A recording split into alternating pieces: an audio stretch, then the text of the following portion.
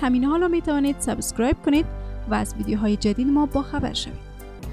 وزارت خارجه آمریکا از تمامی کارکنان غیر ضروری سفارتش در عراق خواست که هرچه زودتر این کشور را ترک کنند. در اوج تنش ها میان ایران و آمریکا وزارت خارجه آمریکا ظهر امروز با صدور ای از تمام کارکنان غیر ضروری سفارت این کشور در بغداد و کنسولگری این کشور در شهر اربیل خواست که بدون معطلی این کشور را ترک کنند سفارت آمریکا در عراق دلیل این دستور را تهدیدهای امنیتی خوانده است که جان اتباع آمریکایی در عراق را تهدید می‌کند. در اعلامیه وزارت خارجه آمریکا از کارکنان غیر ضروری سفارت این کشور در عراق خواسته شده که در اولین فرصت عراق را حتی با وسایل تجاری ترک کنند به تأسیسات آمریکایی در عراق نزدیک نشده و رسانه های محلی را برای خبرهای تازه دنبال کنند وزارت خارجه آمریکا گفته است که خدمات صدور ویزا در عراق نیز به حالت تعلیق درآمده است. پس از این اقدام وزارت خارجه آمریکا امروز دولت آلمان نیز اعلام کرد که تمامی فعالیت‌های آموزشیش در عراق را به حالت تعلیق در می‌آورد خبرگزاری DPA آلمان امروز این خبر را از قول منابع نظامی این کشور نشر کرد همزمان با این ایران در یک اقدام تحریک‌آمیز امروز اعلام کرد که برنامه های مربوط به توقف رعایت سقف تولید اورانیوم غنی شده در تأسیسات نتنز و همچنین تولید بدون محدودیت آب سنگین در تأسیسات اراک را آغاز کرده است.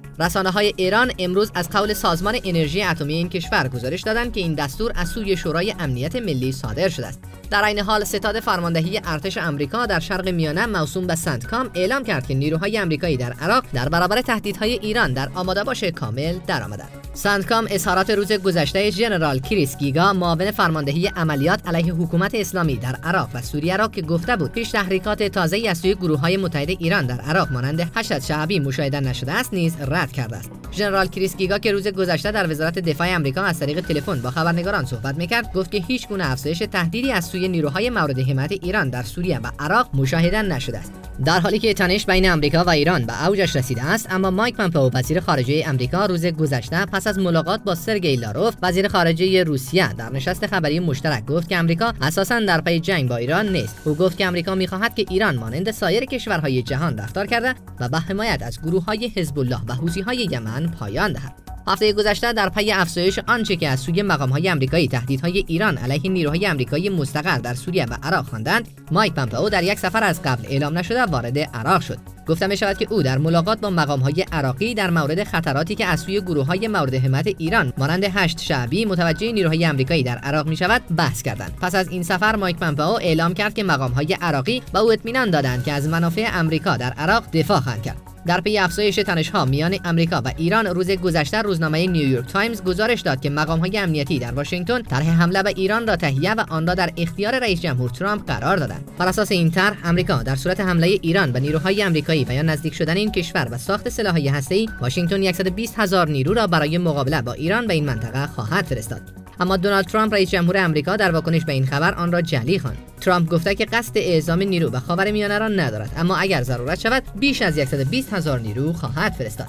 سفیر ایران در سازمان ملل متحد نیز در واکنش به این گزارش نیویورک تایمز خبر اعزام نیروهای آمریکایی برای مقابله با ایران را جنگ روانی خواند. مجید تخت روانچی سفیر ایران در سازمان ملل متحد در گفتگو با شبکه خبری CNN گفت که ایران به هیچ وجه دنبال درگیری نظامی نیست. زیرا به گفته او از این درگیری هیچ کسی سود نمی‌برد او گفت که کسانی که دنبال جنگ هستند چند شخص معدود در منطقه و واشنگتن این در حالی است که روز یکشنبه امارات متحده عربی از عملیات خرابکارانه علیه چهار نفتکش در نزدیکی بندر فوجیره این کشور خبر داد دولت امارات اعلام کرد که در اثر این عملیات خرابکارانه به دو نفتکش سعودی، یک نفتکش اماراتی و یک نفتکش نروژی آسیب رسیده است. و گفته امارات در این رویداد اما نفتی به دریا نشت نکرده و کسی هم آسیب ندیده است. یک مقام آمریکایی بدون ذکر نامش روز گذشته به خبرگزاری رویترز گفته که تحقیقات اولیه یک گروه از نظامیان آمریکایی در منطقه نشان می‌دهد که ایران و گروه های متحد این کشور در منطقه در عقب این رویداد بودند. ایران اما وقوع این رویداد را تاسفبار خوانده و خواهان روشن شدن ابعاد دقیق این رویداد شده است. جواد ظریف وزیر امور خارجه ایران نیز روز گذشته در دهلی نو گفت که این کشور پیش بینی اقدامات خرابکارانه در منطقه را کرده بود. او گفت که افراد تندرو در منطقه خاورمیانه و واشنگتن به خاطر تشدید تنش قصد انجام چنین اعمالی را داشتند. تنش بین امریکا و ایران در یک ماه اخیر و پس از قرار گرفتن سپاه پاسداران در فهرست گروه های افکن امریکا به طور بی‌سابقه تشدید شده است. دولت آمریکا ایران را متهم می کند که با گروه های متحدش در حال برنامه‌ریزی علیه منافع آمریکا در منطقه خاورمیانه است. ایران اما با رد این اتهامات آمریکا این کشور را متهم می کند که جنگ روانی وسیعی را علیه این کشور به راه انداخته است.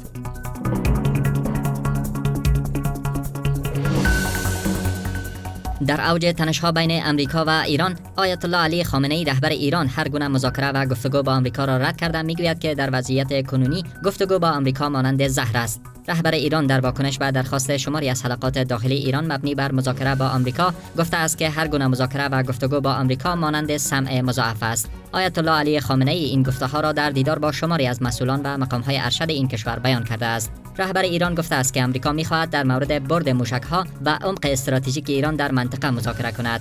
او تاکید کرده است که این موارد نقاط قوت جمهوری اسلامی است و ایران هرگز در این موارد مذاکره نمی کند آیت الله خامنه ای در این دیدار همچنین بقای جنگ بین امریکا و ایران را ناممکن دانسته است. او گفته است که نه امریکا و نه ایران به دنبال درگیری نظامی هستند. زیرا با گفته او امریکا می‌داند که چنین درگیری به سود این کشور نیست. رهبر ایران گفته است که این کشور در مقابل فشارهای کنونی مقاومت می کند تا آمریکا در این رویارویی غیر نظامی نیز شکست بخورد. گفته های رهبر ایران در مورد ناممکن بودن درگیری نظامی بین امریکا و ایران در حالی بیان می شود که صف‌آرایی های نظامی به خصوص از سوی امریکا اخیرا در منطقه خلیج فارس به شدت افزایش یافته است. آمریکا هفته گذشته گروه ناو هواپیمابر ابراهام لینکن و چهار بمب افکن B 52 را برای آنچه که واشنگتن تهدیدهای رو به افزایش ایران علیه منافعش در منطقه می‌خواند راهی آبهای خاورمیانه کرد. پاتریک شناهان سرپرست وزارت دفاع آمریکا روز شنبه خبر فرستادن ناو USS آرلینگتون و سیستم دفاع موشکی پاتریوت به خاور میانه و خلیج فارس را نیز تایید کرد. با این حال شماری از های جهان خواستار خیشتنداری دو طرف برای جلوگیری از هر نوع درگیری نظامی در منطقه شدند فدریکا موگرینی مسئول خارجی اتحادیه اروپا که موقف نسبتا نرمی در مقابل ایران گرفته است روز دوشنبه پس از دیدار با مایک پامپئو وزیر خارجه آمریکا و وزیران خارجه اتحادیه اروپا گفت که باید از هر نوع درگیری نظامی در منطقه خلیج فارس جلوگیری شود. ممنون از اینکه ویدیو رو دنبال کردید. لطفا نظرات و پیشنهادات خود را برای ما کامنت بگذارید. همین حالا می توانید سابسکرایب کنید و از ویدیوهای جدید ما با خبر شوید.